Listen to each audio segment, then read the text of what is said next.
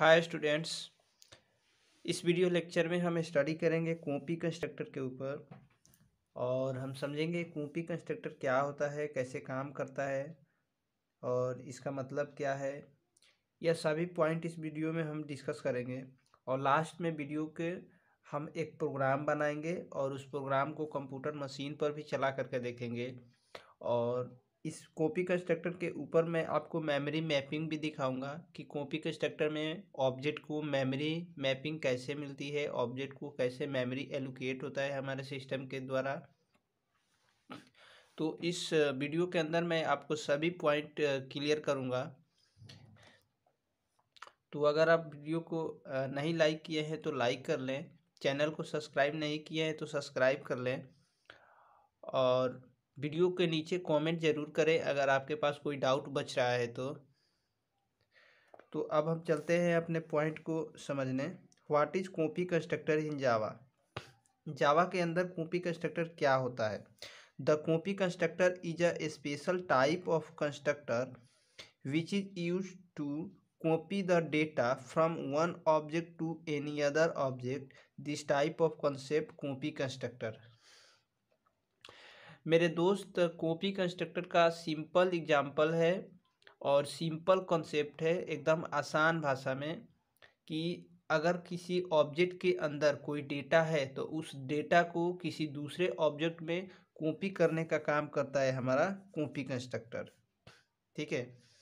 Copy constructor कैसे data को एक ऑब्जेक्ट से दूसरे ऑब्जेक्ट में कॉपी करता है? मैं आपको इसमें प्रोग्रामिंग में प्रूफ करके दूँगा और मेमोरी मैपिंग के साथ समझा करके भी दूँगा। इस वीडियो के आगे, ठीक है?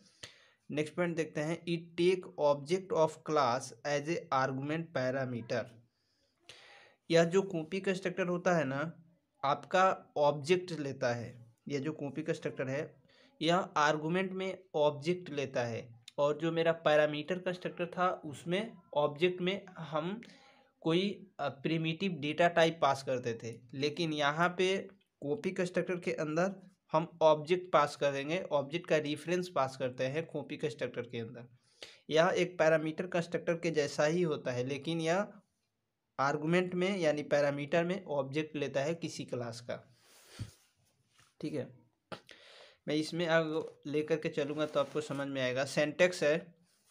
जैसे आप यहाँ पे ध्यान देना है आपको सेंटेक्स एक क्लास हमने बनाया क्लास का यहाँ पे कोई नाम लिखा क्लास का यहाँ से बॉडी स्टार्ट हुआ, यहाँ पे बॉडी क्लोज हुआ। देखो, यहाँ पे हमने क्लास का नाम लिखा, जैसे यहाँ पे कुछ क्लास का जो भी आप नाम लिखोगे ना, वही नाम यहाँ पे भी लिखना है। देखो, यहाँ पे क्लास का ऑब्जेक्ट ये लेता है, ठीक है? और यहाँ से इसका बॉडी स्टार्ट हुआ, फिर यहाँ से बॉडी क्लोज हुआ, इसके अंदर एग्जीक्यूटेबल स्टेटमेंट होता है। ठीक है? और यह जो ऑब्जेक्ट्स है, यह ऑब्जेक्ट का रिफरेंस होता है। यह एक वेरिएबल होता है। मैं इस प्रोग्राम में डिस्कस करूँगा आपको एक एग्जांपल दिखा करके। ठीक है? तो कुछ इसी टाइप का आपका होता है कॉपी कंस्ट्रक्टर का सेंटेक्स इंटरव्यू में अगर आप बैठे हैं तो आपको सबसे पहले इंटरव्यूअर कॉपी कंस्ट्रक्टर से क्वेश्चन ज़रूर उठाता है, क्योंकि कॉपी कंस्ट्रक्टर का जो कॉन्सेप्ट है लॉजिक है या कुछ अलग है तो इसीलिए इससे क्वेश्चन एग्ज़ाम्स में इंटरव्यू में हर जगह पूछा जाता है। तो आपको ये जो मैं आपको थ्योरी समझाया हूँ, इस थ्योरी को अपने नोटबुक में नोट डाउन करना है सेंटेक्स को समझना है एग्ज़ाम्पल मैं कराऊँगा उसको भी समझना है और आपको बढ़िया से लर्न करके रखना है ताकि जब भी आपका एग्ज़ाम्स में आए या इंटरव्यू में यह क्वेश्चन आए तो आप बता पाओ। ठीक है? अब मैं आपको इसके ऊपर एक एग्ज़ाम्पल करा देता हूँ। तो एग्ज़ाम्पल देखते हैं। एग्ज़ाम्पल है, हमने एक क्लास बनाया क्लास का नाम रखा एग्ज़ाम्पल ठीक? और इस क्लास के अंदर हमने दो फ़ील्ड रखा इंट में ए और इंट में बी एक कंस्ट्रक्टर बनाया पैरामीटराइज कंस्ट्रक्टर इसके अंदर इंट में एक्स और इंट में वाई पैरामीटर हमने पास किया, जो कि यह रेफरेंस वेरिएबल है। उसके बाद हमने a is equal to x और b is equal to y किया। मतलब कि एक्स में जो वैल्यू आएगी, वो ए में चली जाएगी वाई में जो वैल्यू आएगी, वो बी में चली जाएगी। और ये ए और बी इंस्टेंस वेरिएबल है, यहाँ पे डिक्लेयर है तो ये तो हमारा ऑब्जेक्ट का पार्ट हुआ ना। तो ये वैल्यू हमारा एक्स की ए में और वाई की बी में हमने सेट कर दिया। कंस्ट्रक्टर को बंद कर दिया फिर एक नया हमने कंस्ट्रक्टर क्रिएट किया, जो कि पैरामीटर कंस्ट्रक्टर है, ये। कंस्ट्रक्टर का क्लास का नाम लिखा है एग्ज़ाम्पल। और देखो यहाँ पे एग्ज़ाम्पल हमने लिखा।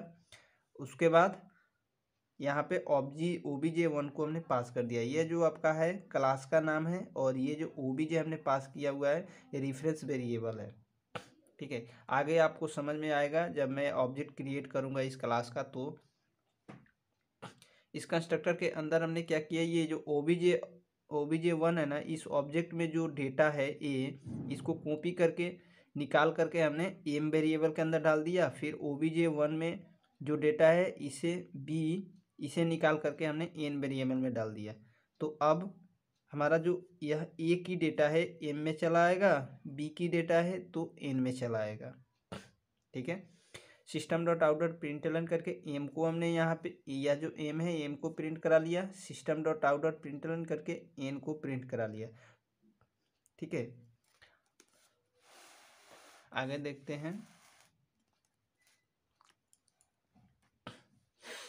अब यहाँ पे तो आपका क्लास कंस्ट्रक्टर क्लॉज हुआ, उसके बाद यहाँ पे क्लास एक हमने मेन क्लास बनाया, इसके अंदर पब्लिक स्टैटिक वाइड मेन लिखा स्ट्रिंग आर्गूमेंट इसको सेव करना है आपको मैन डॉट जावा के नाम से। ठीक है? उसके बाद एग्ज़ाम्पल क्लास का हमने दो ऑब्जेक्ट बनाया। ओ बी जे वन और O B J two first object में देखो, यहाँ पे कंस्ट्रक्टर कॉल हुआ तो हमने टेन और ट्वेंटी पास पास कर दिया पैरामीटर ठीक है? दूसरा ऑब्जेक्ट हमने बनाया O B J two new keyword की मदद से इसमें एग्ज़ाम्पल में हमने ओ बी जे को उठा करके यहाँ पे पास कर दिया। ठीक तो यह हो गया हमारा कॉपी कंस्ट्रक्टर और यह हो गया हमारा argumented constructor. System dot out dot print करके वैल्यू कॉपीड सक्सेसफुली हमने एक मैसेज डाल दिया। मैन मेथड को बंद किया, क्लास को बंद किया। आउटपुट आएगा आपका ये, value of m is equal to ten, value of n is equal to twenty. ये कैसे आ रहा है मैं बता रहा हूँ। जैसे ही आपने यहाँ पे टेन और ट्वेंटी पास किया है ना, ये टेन चला जाएगा, एक्स के अंदर ट्वेंटी चला जाएगा, वाई के अंदर, और टेन फिर एक्स इजकल टू ए तो अब टेन चला जाएगा, ए के अंदर फिर ट्रांसफ़र हो जाएगा, फिर वाई की में जो ट्वेंटी है, ये ट्रांसफ़र हो जाएगा बी के अंदर। और देखो, ए और बी यहाँ पे ग्लोबली डिक्लेयर है, यह इंस्टेंस वेरिएबल है अब देखो, अब मैं यहाँ पे ए और बी को प्रिंट नहीं कराया हूँ। एम और एन को प्रिंट कराया हूँ। तो ये जो ए और बी है ना, ये ओबीजे वन के अंदर है। ठीक? ये ए और बी जो है ए और बी ऑब्जेक्ट वन का वेरिएबल है।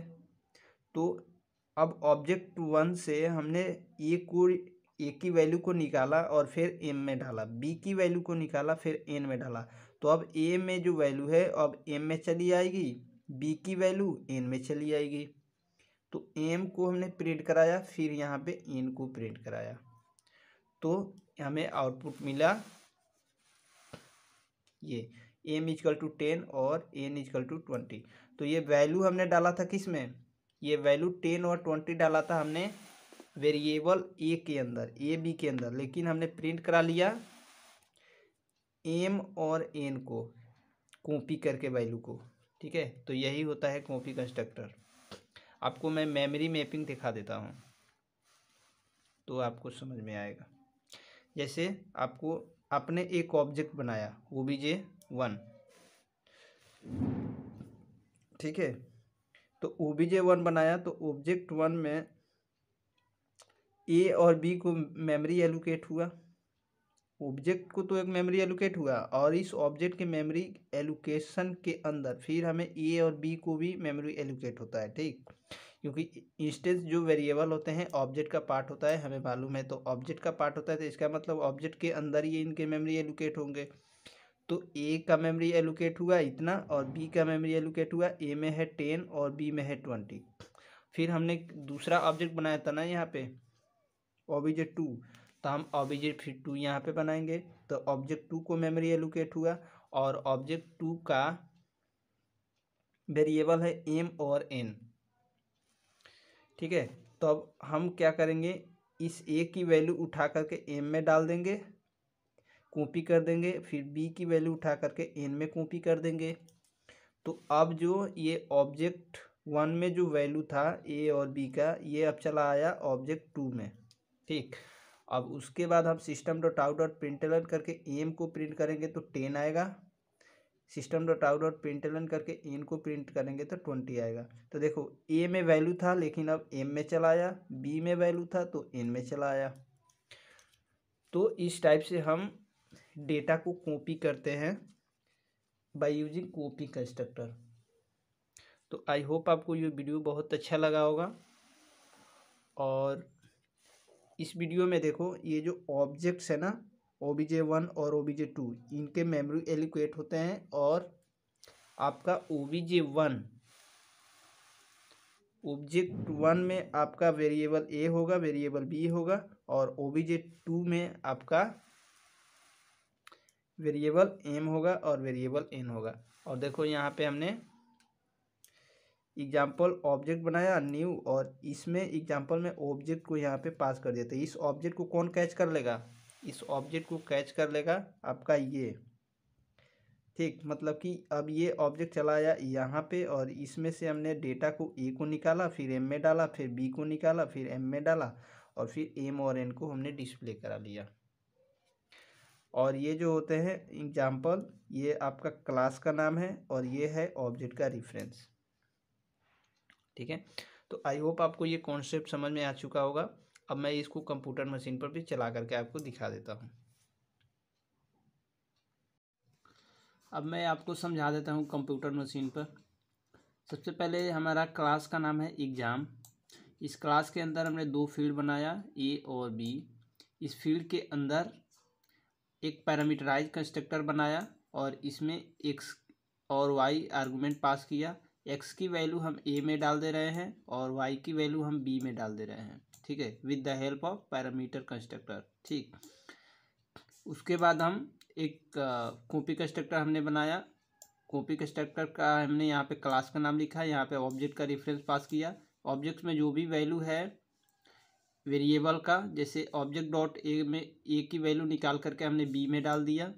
फिर यहाँ पे object dot object one dot b मतलब कि बी की वैल्यू निकाल करके हमने एन में डाल दिया दूसरे वेरिएबल में। उसके बाद system dot out dot println करके एम और एन की वैल्यू प्रिंट करा लिया। जो भी ए और बी से वैल्यू आया है एम और एन में, उसे हमने डिस्प्ले करा लिया। उसके बाद आपका यहाँ से कॉपी कंस्ट्रक्टर क्लोज हुआ। उसके बाद आपका यहाँ से क्लास क्लोज हुआ। क्लास एक और बनाया हमने, जो कि मैन क्लास होगा। इसके अंदर पब्लिक में स्टैटिक, वाइड मैन हमने लिख लिया। अब इस एग्ज़ाम्पल क्लास का दो हमने, अब एग्ज़ाम क्लास का दो ऑब्जेक्ट बनाया। ओ बी जे वन और O B J two. First object का जो कंस्ट्रक्टर हुआ है यहाँ पे, पैरामीटर कंस्ट्रक्टर, इसके अंदर हमने टेन और ट्वेंटी पास किया, क्यों, जो कि ये आर्गूमेंटेड कंस्ट्रक्टर है तो ये वैल्यू लेगा। कॉपी कंस्ट्रक्टर के अंदर ये जो ऑब्जेक्ट वन है, इसे हमने उठा करके इस कंस्ट्रक्टर के अंदर पास कर दिया ऑब्जेक्ट को, ठीक है? उसके बाद system dot out dot print करके हमने एक मैसेज दे दिया वैल्यू कॉपीड सक्सेसफुली ठीक है? जैसे हम इन, हमने यहाँ पे आर्गूमेंट में टेन और ट्वेंटी पास किया तो ये टेन को एक्स कैच कर लेगा ट्वेंटी को वाई कैच कर लेगा, और एक्स के वैल्यू हमने ए में डाल रखा है तो मतलब कि अब टेन चला आएगा ए में और ट्वेंटी चला आएगा बी में। ठीक, और ए और बी क्या है? ग्लोबली डिक्लेयर है मतलब कि इंस्टेंस वेरिएबल है। तो ये किसके पार्ट्स है?